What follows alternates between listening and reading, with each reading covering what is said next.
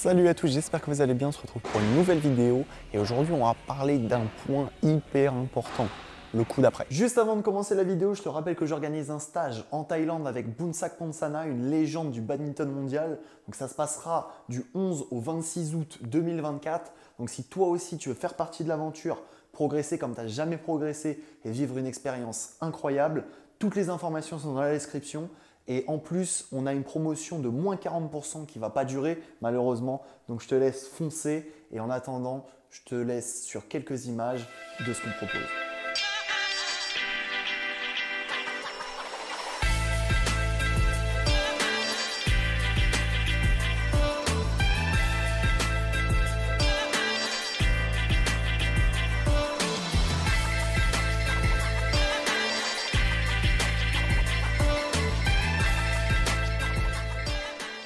Donc le coup d'après, à quoi ça sert? Je vous avais expliqué dans une précédente vidéo le principe d'action-réaction. En gros, pour faire simple, quand vous frappez, vous avez deux options.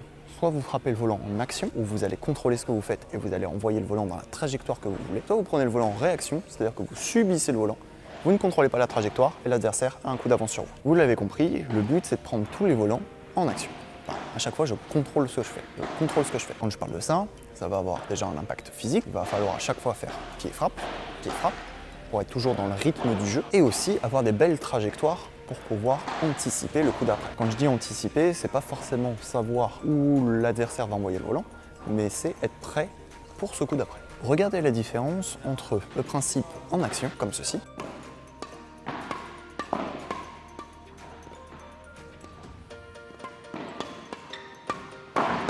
et le principe en réaction, comme ceci.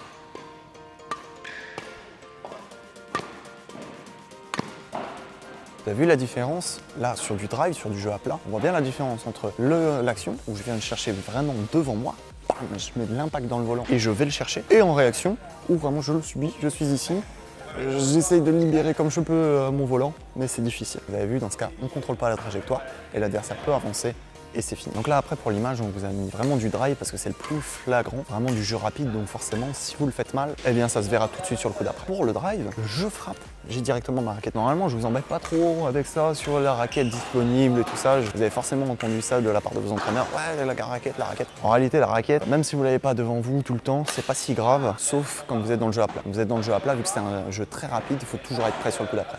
En revanche, si vous faites un dégagement, bah, ça n'a rien à voir sa raquette là, hein, puisque la plupart du temps le volant va descendre. Vous l'avez juste devant vous, ici, ça sera déjà très bien. Donc c'est toujours pareil, hein, quand vos entraîneurs vous disent des choses, on vous dit ouais, toujours la raquette là, là, là, demandez-lui pourquoi et laissez-le répondre. Mais des fois, des fois c'est pas hyper utile en fait. Quand le volant descend, ça n'a rien à voir la raquette haute, le volant descend, la raquette basse. Ensuite, sur l'attente, Là, c'est pas vraiment le sujet de la vidéo, mais on en parle parce que c'est en lien avec euh, le coup d'après. Quand vous êtes en attente, c'est plus facile de passer de revers à coup droit que de coup droit à revers. Pourquoi pas favoriser une prise un petit peu plus orienté sur le revers plutôt qu'une prise neutre. Donc posez vraiment les questions à vos entraîneurs. Hein.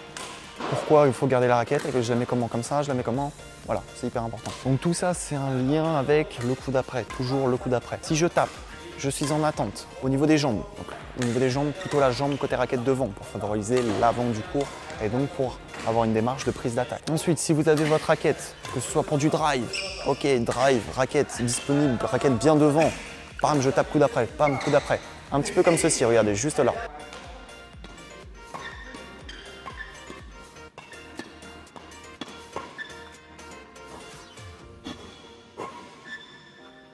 Eh bien, vous avez vu, tout de suite, il y a un impact sur le coup d'après. Si par contre, je fais du drive, je tape, la raquette elle est là, je tape, la raquette elle est là, vous allez toujours prendre le volant en réaction. Et c'est vraiment pas ce qu'on veut. Pareil, quand vous faites un contre-amorti, je fais mon contre-amorti, on se replace pas au centre du terrain. D'une part, pour le coup d'après. Donc on va se replacer dans le centre du jeu. Je frappe, j'attends un petit peu plus proche du filet pour favoriser la trajectoire la plus courte. En l'occurrence, le coup d'après, sur un contre-amorti, la trajectoire la plus courte, ça va être un autre contre-amorti. Donc on favorise la trajectoire la plus courte, le coup d'après, un contre-amorti, je me rapproche un petit peu. Quand on parle de coup d'après, vraiment, hein, il y a cet impact physique que vous allez mettre. Donc toujours faire pied-frappe, toujours être orienté dans le sens du jeu. Quand je fais un contre-amorti, je m'avance.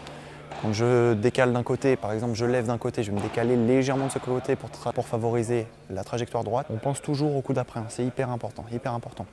Donc démarche physique avec les jambes, démarche technique, ça va être plus facile pour vous.